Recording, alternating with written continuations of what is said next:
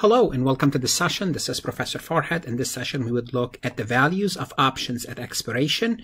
And by doing so, we're going to look at the profit and loss diagram, which is typically a graph that illustrates this concept. This topic is covered on the CPA BEC section as well as the CFA exam, also in an Essentials of Investment course. As always, I'm going to remind you to connect with me on LinkedIn if you haven't done so. YouTube is where you would need to subscribe. I have 1,800 plus accounting, auditing, tax, finance, as, as well as Excel tutorial. If you like my lectures, please like them, share them, put them in playlist. If they benefit you, it means they might benefit other people. Connect with me on Instagram. On my website, farhatlectures.com, you will find additional resources to complement and supplement this course as well your other accounting and finance courses. So in this session, we're going to look at the graph, at the profit and loss diagram for stock options. So let's take a look at an example with a call option, strike price of 80 and the cost of this option is $14. So when does this option pay off for the buyer? Well, Obviously, it will pay off when you exceed $80. But let's take a look at the graph to see how this exactly works. So to graph this information, we're going to have a vertical line. In this vertical line, we're going to call it the profit and loss line. And this is 0.0 because we're going to have a profit and a loss. Then we're going to have the strike price, the, the stock price. This is the stock price, SFT. Okay. And we're going to go ahead and put right here $80. So this is the strike price. This is the strike price. When we have a strike price, it means exactly at this point, the term is we are at the money. Okay, that's the term. There's out of the money, in the money, and at the money. The strike price is 80. It means this and the strike price, we are at the money. Let me draw this line here. We are at the money. Now here's how it works. If you are the buyer of this, first I'm going to do the buyer. If you are the buyer of this call option, when do you make money? Well, if you're the buyer of this option, you make money when you are in the money, in the money. At 80, at 80, this is at the money. So when you are in the money as a buyer of stock option, as a call option? Well, you're in the money when the stock price is 90, 100, 110. Why? Because at this point, you might think about exercising your option because it's above the strike. So here you are in the money. Okay? When are you out of the money? If the stock price at expiration is 70, 60, 50, anything below 80, you are out of the money. Okay, so we already talked about at the money, in the money, out of the money. So let me erase this because we're going to need more, more space for this graph. Now remember, as the buyer of this option, as the buyer of this call option, you paid $14 upfront to, to be able to buy the option. Therefore, when you start, when you start, you're going to have, you are at a loss immediately of negative $14 at negative $14. Now, when do you start to make money? Well, you don't, you're not going to be making money. Uh, let me use a different color here. Or maybe I'll just do dashes. So you're not going to be making money unless the, unless the stock price is 80 or above. At 80, you're at the money, but you remember, you still have to cover your $14. So when are you going to make money? So as soon as the stock price goes above 80, let's assume the stock price is at 90. If the stock price is at 90, you will start to make a profit. If the stock price is at 90, now you recovered basically $10 from your, from your premium. Now your losses are only $4. Well, if the stock price is 94, at 94 you break even. Why?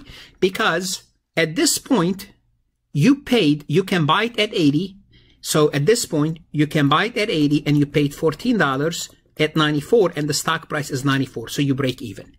Now what happened if, if the stock price goes from 94, from 94 to 100 and let's make it uh, 94, 104, 104. At this point, you have a profit of $10. you have a profit of $10. If it goes to 114, you have a profit of $20. And notice as you go further, as the stock price goes further and further, your profit goes up. So theoretically, if you are the buyer of the option, your profit is unlimited. Your profit is unlimited because you could always buy it at 80 and sell it for 60 trillion dollar in theory. Now, what is your cost? As the buyer, your cost is $14. So for $14, you have uh, a potential, you know, of unlimited profit. Okay? That's the buyer. Let's look at the seller of this call option. If you are selling, so the buyer, you are bullish. You think the stock goes up. Now, as a seller of this stock option, let me change, let me use this color. If you are the seller, the seller, it means you are bearish. What does that mean? It means you don't think the stock price is going to go up. You think the stock price it's going to be at 80 or below, and the individual that paid you $14 would never come back and want to exercise. So what happened is this. As the seller of this option, immediately you receive profit and loss. Immediately you would receive, let's assume this is 14. Immediately you received $14. So you immediately have a gain of $14. And you're going to keep this gain as long as the stock price is 80 or below. 80 or below. Okay? Now what's going to happen? Once the stock price start to go above 80, up until 94, you start to lose some of that profit. Up until 94, basically you you'll have a profit of zero because you have to buy it at, uh, because you have to buy it and deliver it and you no longer have any profit. Your profit your profit is wiped out.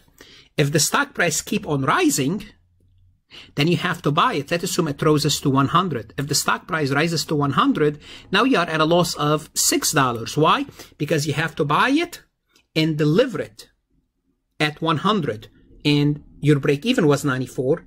You have to incur an additional $6 of losses because you have to buy it and deliver it. Actually, not at 94, you deliver it at 80, but you broke even at 94. You have, you know, 80 plus $14 that cover your expenses. And notice if the stock price keep on rising, your losses are unlimited. So the seller, the losses unlimited and the profit is only $14. Uh, well, did you notice something? I hope you did that. They're the opposite of each other. They are the mirror image. And even the graph itself should be the mirror image. Now, my, my, my, my drawing is not the best, but it's the mirror image. Let me show you another drawing of this. So let me delete everything. So what I just talked about, those two images imposed on each other. Okay, this is the buyer and this is the seller of the option. They're the mirror image of each other.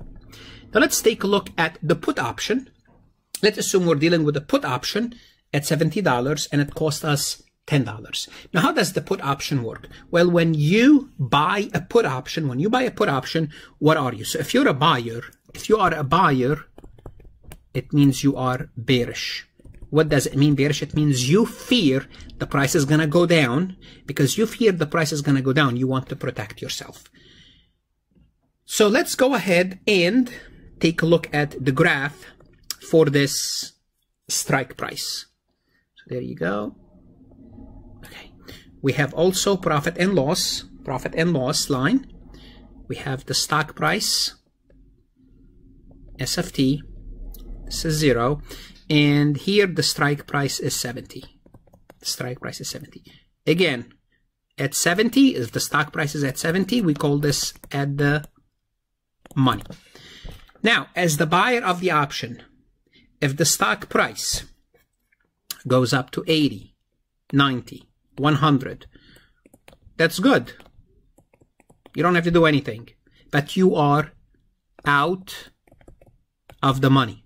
So you don't, you don't, you don't exercise because, you know, why would you sell it at 70 if you can sell it at 80, 90, or 100? What's going to happen is this. When the stock price started to go down to 60, 50, 40, 60, 50, 40. On this end, you become in the money. You become in the money. Why? Because now your option worth something.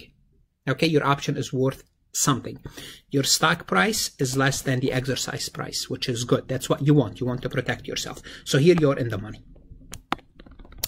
Now remember, you paid $10. You paid $10. So here's what's going to happen. You're going to be out of the money, out of the money until you are $70. Until you are $70 then remember you are you're basically minus 10 you have minus minus 10 dollars because you are you paid 10 dollars you are at a minus 10 you are at a minus 10 and what's going to happen once it once it goes down from 60 to 70 you will start to cut down your profit until it reaches 60 once it reaches 60 basically now you 60 is your break even so 70 minus 10 the strike, the strike price is 70 minus $10, 60.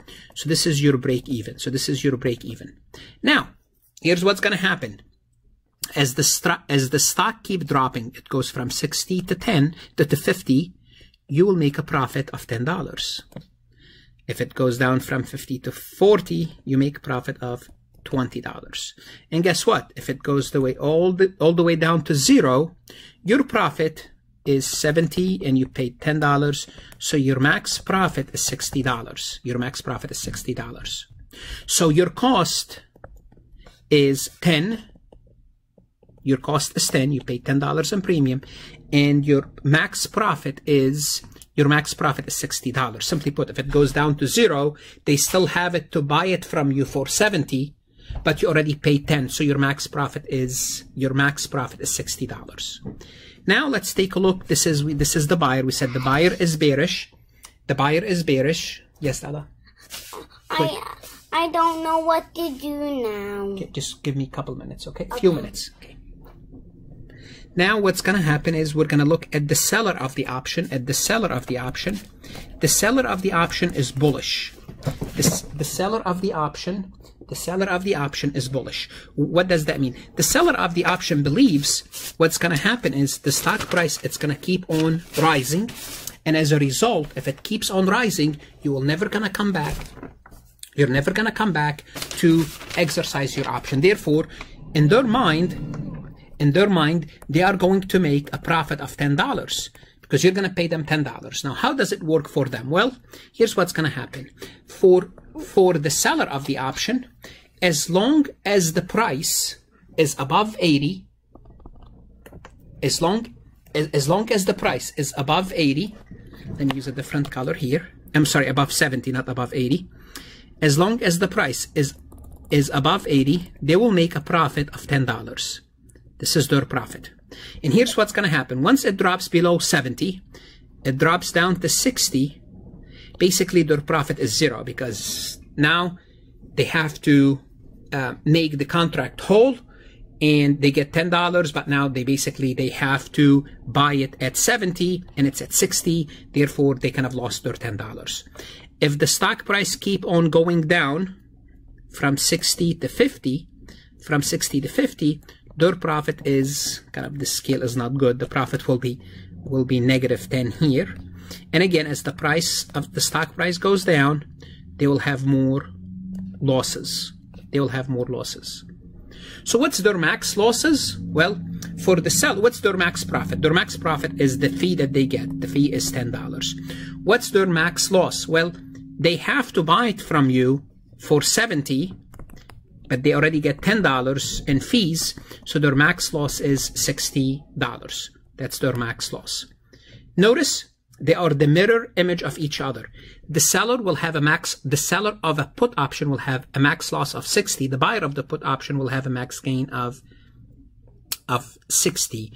And the, the cost for the buyer is 10 the profit to the seller is 10. Basically, they're the mirror image of each other. Now, now the graph is not, you know, the graph is not the best, but hopefully you guys got the picture.